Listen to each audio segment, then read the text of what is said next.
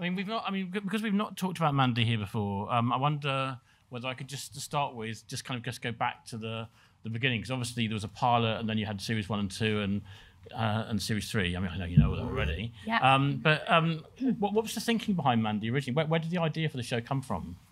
Um, she was a sort of amalgam of people that I'd known over the years.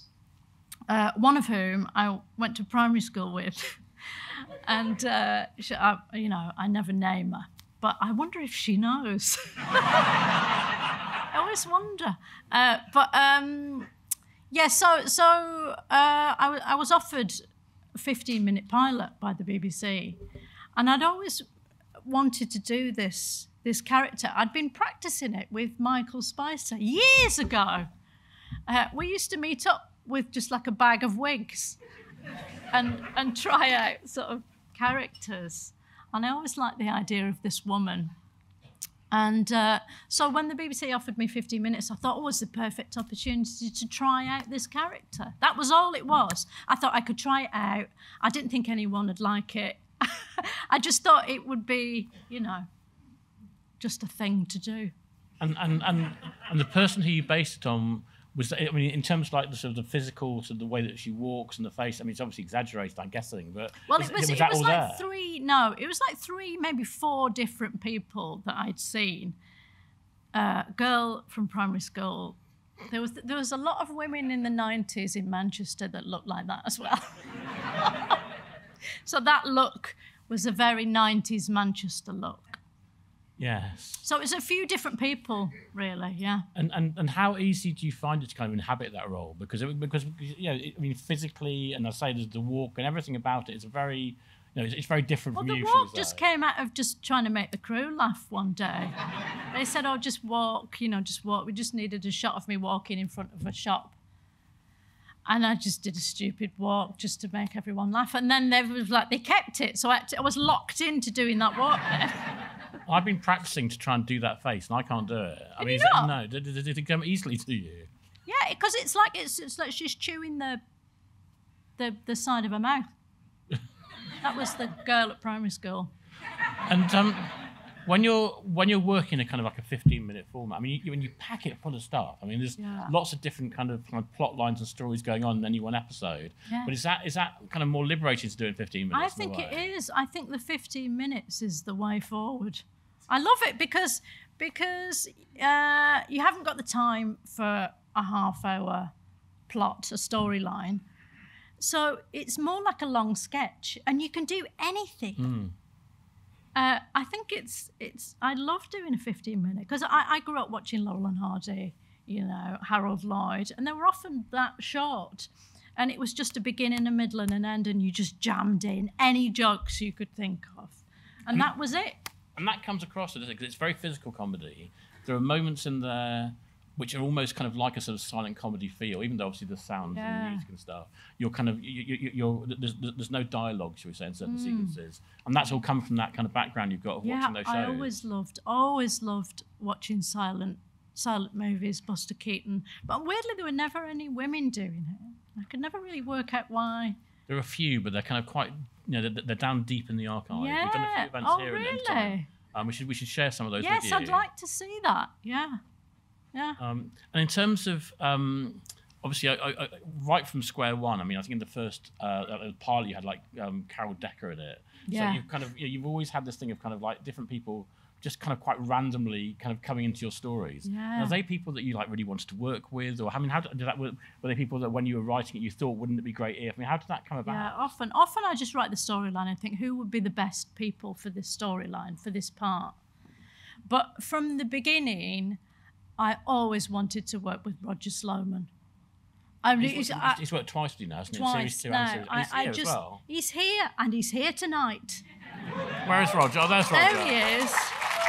Because like every other comedian, comic actor I know are obsessed with in May and think it's the best thing ever. And Roger Sloman is just, Yeah. it's probably the, the best comedy performance I've ever seen. So to be able to work with him, it was just like, it blows my mind.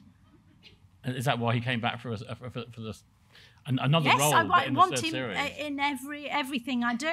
have to say, one, one of my, that, my happiest experience of working at the BFI was during our Mike Leigh season. I sat here on stage with Roger Right, and a yeah, whole. yeah. Um, in fact, it was a complete reunion. We didn't film it, which is kind of one of the things that will, will Oh. crush me forever. But it's one of the Yeah. best events we've done, apart from tonight. so, um, and we've, all, I mean, just because we've obviously, you know, sort of singled Roger out, there are some other people in the audience who are in the show. Obviously, um, I should say we've got Michelle Greenidge here. Yes. So will you stand? Will you stand? Will you stand up? Stand up. Stand up. Because Stand not, up. 'cause not everybody can Let see them you. see you.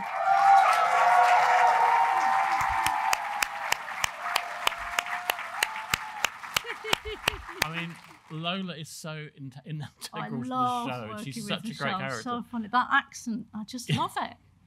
And, and and when you're writing for Lola, um, I mean, there other things that um, that Michelle brings to the character, or is it already there on the page? Michelle's multi-talented. She does this thing where uh, she can do like the, a crying baby noise. Would you do it now here? We're going to bring a microphone down to Michelle now, unrehearsed. honestly, it's so incredible. She did it one day for the crew, and everyone was like, "Where's that crying baby coming from?" Listen to this.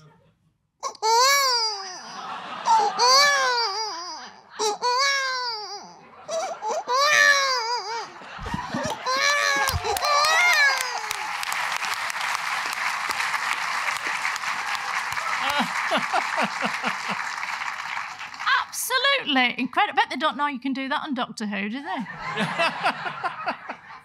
yeah. And um, and there's also, of course, the great Linda Lusardi is here. Linda Lusardi is here tonight.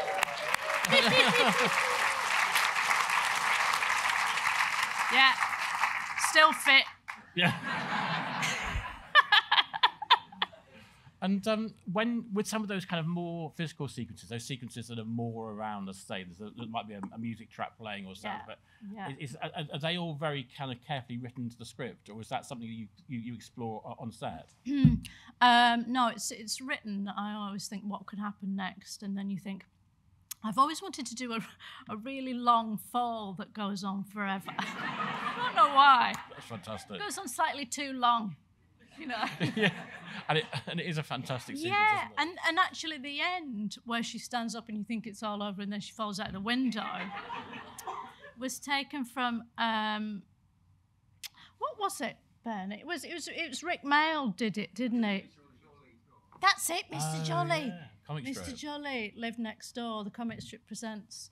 He did this fall out of a window that I, I watched about 500 times, didn't I? Because I thought, because he keeps his whole body straight as he falls out the window.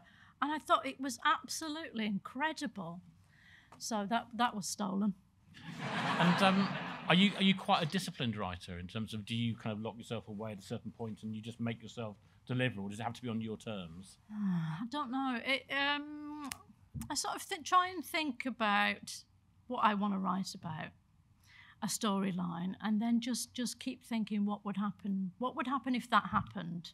Like, do you remember the thing in the news the other day? I don't know if you saw it. With the, there was a woman in Wales, and she got the back of her, yeah, she got the back of her coat stuck on some shutters, and it lifted her up, up the shutters. And the brilliant thing is, she grabs her shopping trolley. I was so jealous because I thought I'm never going to be able to come up with anything as good as that. It was like beautiful. Are there any ideas that you just haven't been able to deliver because they've been too outlandish or too expensive? Because I mean, you, you know, you've got to play. Do you know what? I haven't really uh, let the lack of budget stop me, as you could. As you could see by the plane episode, I mean, no, no, there's Robin and Lucy from the plane episode. oh. I thought that looked really good. I actually It thought did look I really thought it worked good. really well up here. I thought it was very cinematic and lots of Yeah. I know. I really wasn't ex- expecting it to look that good. And Yeah. and and um, but so, so so basically, I mean, because there's no kind of genre or I mean, it's, it's completely blue sky thinking, isn't it? When you when you approach it, you, you you've just Hmm. yeah, because like, they're know, self-contained and anything could happen. So it means you you can just go mad and just do absolutely anything.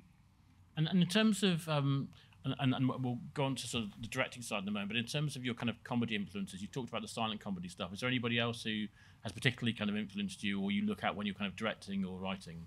I don't know if they've influenced, probably influenced me, but there's people I like, like obviously Peter Sellers and Hancock. I grew up watching watching them. Uh, Mae West is the, like completely underrated. Yeah. And I don't know why they don't really show any of her films now.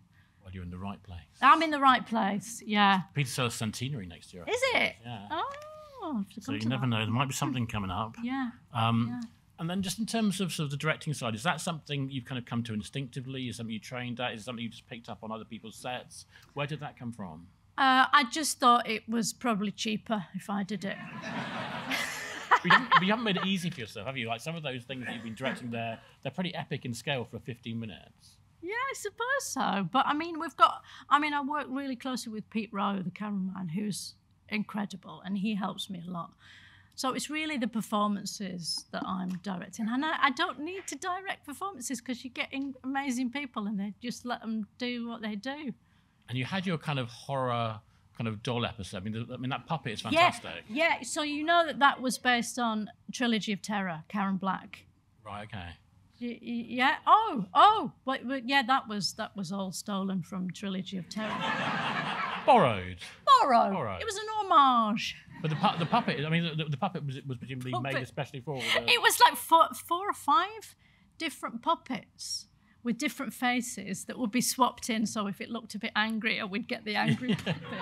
And all the crew were, were having a go at, at, at making the puppet move.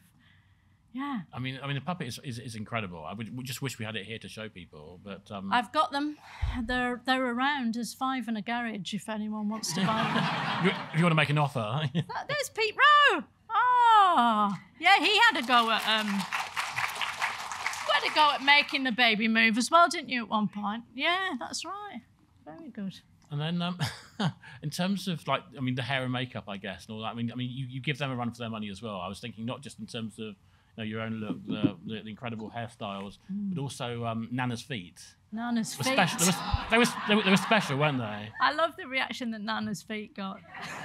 and, and, and, and, and, and, and I know that perhaps it was cheaper to kind of cast yourself in that role, but it, but um, but, but was it a sort of an exciting kind of comic challenge to do that, and also Yeah, from a directing point of view to pull it off?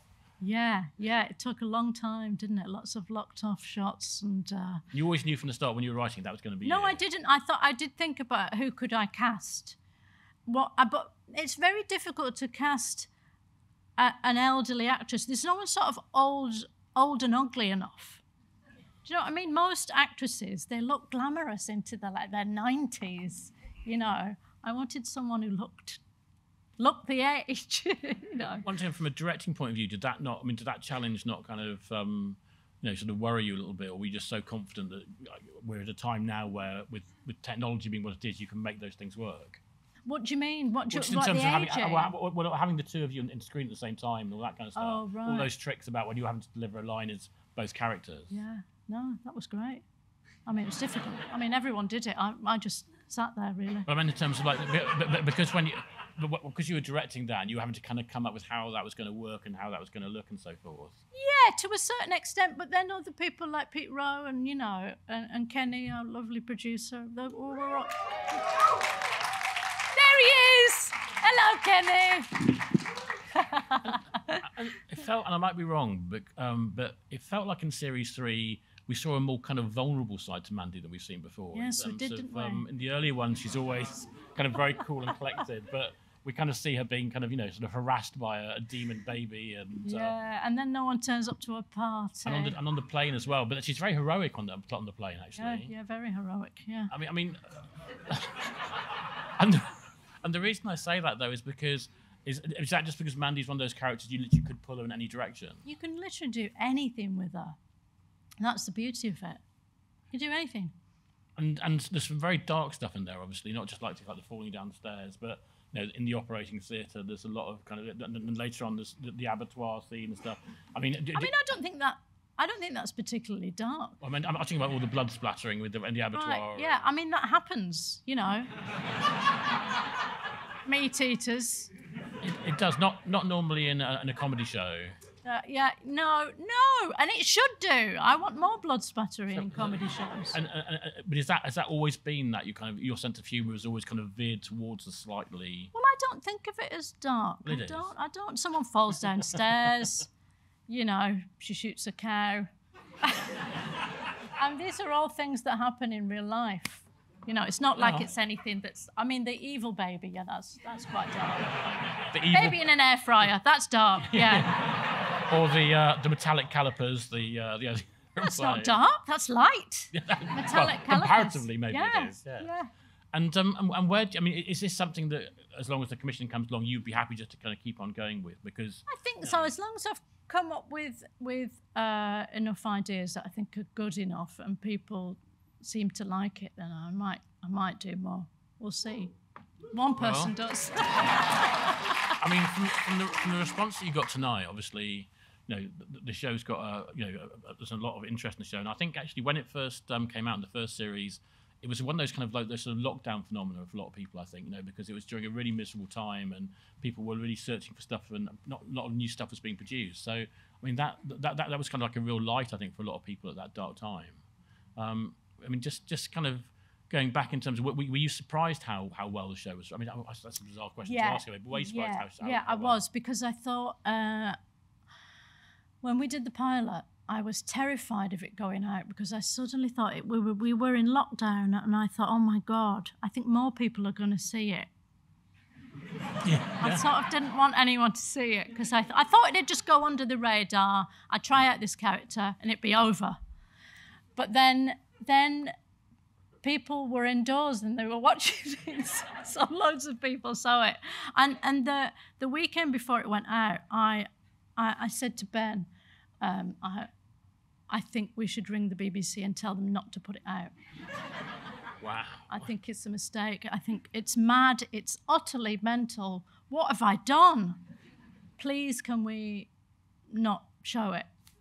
At, at what point did you realise that it had kind of broken through? I mean, I guess the reviews When it went and, out and it was fine, nobody killed me. Yeah. And, and do people, because I know there's lots of things that people know you for, but do people come and, and, and approach you as Mandy on the street? Approach me as Mandy. Well, well, not as Mandy, in terms of do they, do, they, do they want you to pull the face and do all that kind of stuff? They don't ask me, but I can sense that sometimes that's what they're after.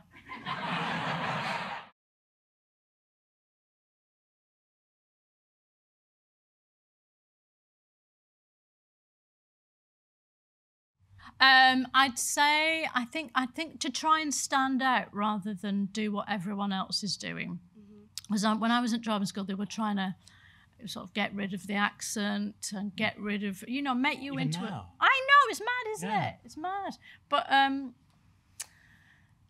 and then then I, when I did stand up, I probably learnt that that actually all the things that are are um, that make you unusual are things that you try and hide are the things that the, you should show everyone.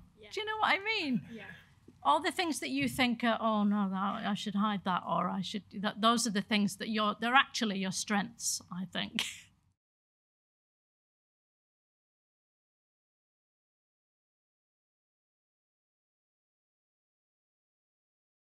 Well, some of them are. Some of them were quite quite quick to think of the idea and then write it. Like I usually, the first four four episodes are, are quite painless, and then I usually find that when I get to five, I'm having a bit of a meltdown, and I have to get Ben to help me because I, I just I just can't work out how how to end something or how like like with the plane thing. I was trying to work out how am I going to end this, and then and then I came up with a stopping the plane with the calipers naturally. so it, it uh, it's always like five and six. I, I start to struggle, and it gets it gets like a longer, drawn out, boring process, harder. But uh, it's different with each episode, I suppose.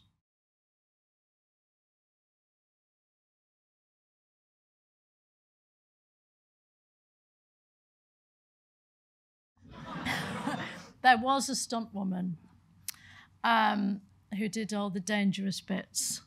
Uh, Do you know, because those steps were concrete, and I was really worried that she was just going to knock her brains out. Uh, but she didn't because she's a professional. uh, but I, I did the bits where she sort of comes up for air and, and like falls and comes up again. but the rest was her, and and it was me falling out of the window. I really wanted to Yeah. get that right. I, I thought about that for years. But not the actual fall. What? Not the actual fall, though. Oh yeah, that was a dummy. The, the actual fall. The actual fall was a mannequin.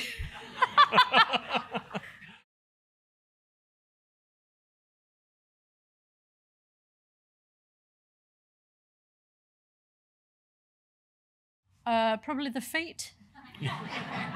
I remember the feet bit going down well. Uh, but my favourite bit is the bit in the, the where I'm, no one's turned up to the party and I'm really upset and I've got the party hat on. And and uh, Lola's going on about how Shirley Bassey is still really glamorous, and and and I turn to her and say, "Oh, stop going on about her!" And the the, the little bit of elastic from the hat lands across my face. That's my favourite bit of the whole series. Is it? Yeah. But I can understand that's probably not everyone else's. It's, it's a niche moment. It but, is, yeah, but I love worth that. watch- rewatching, I think, isn't it, for that reason?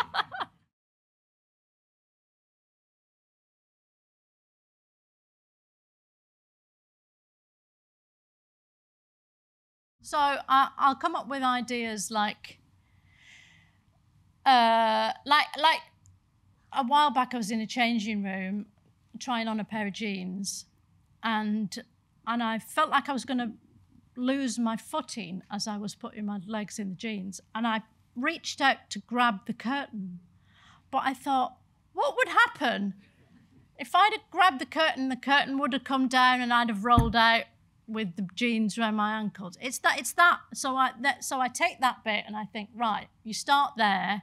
What would happen? It's like, what would the, be the worst thing that could happen next? Continually.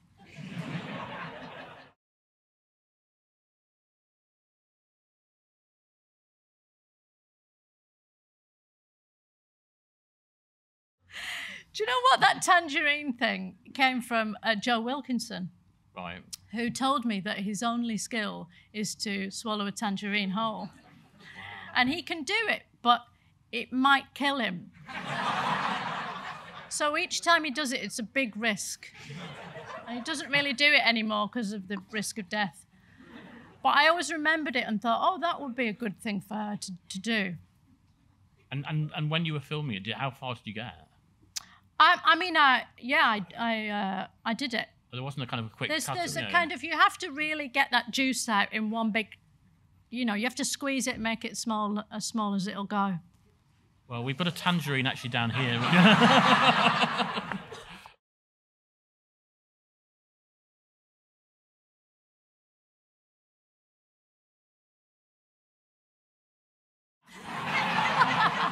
Oh, I hate to say it, but Mandy would probably, she'd probably win. She's a bit rougher. Come to the BFI, Diane. We said, come and hear the most culturally significant I know. question. Look at the questions you get. come and come and have you know, scrutiny and uh, you know celebrate. Um, I mean, there, there is one thing just from when you were talking before. You were talking about how you tried stand up. Is that something you'd ever revisit? Um, not, not unless it all really went tits up. I mean, w- w- was that was, was that was that an experience you enjoyed? Or? I did it for nearly 10 years, you know, and the days that I had a gig, it would ruin my whole day, knowing that in the evening I had to go somewhere and do 20 minutes. Yeah. Uh, but but it was better than doing telesales. So is you that the same like know, today when you know you've got to share your work with an audience? Is that something as well that you're kind of feeling kind of a bit trepidatious about, or is that an it, enjoyable? it was a bit trepidatious because it's been so long since I've seen them, and you never know how you're going to react yourself to them. Whether you're going to go, oh, actually, no, it's not how I remembered it. There's that kind of feeling. But um, but no, it's it's lovely. I mean, everyone came here of their own accord. It's not like you know, Apart- apart from Roger these are people that liked it. Yeah. So they came here to, to, cel- to celebrate Mandy with you. exactly. Yeah. Yeah. And nice um, people. and uh, as Ben said before, the show is going to be transmitting um, on BBC Two. I think it was the twenty seventh. Twenty seventh, I think. Yeah, Um, ten o'clock. So um, you haven't got very long to, to wait and see the rest of it, although you may not have 450 people in your front room with you when you're watching it. But um, a big, big thank you for being here and sharing Mandy with us. Diane Morgan, thank you.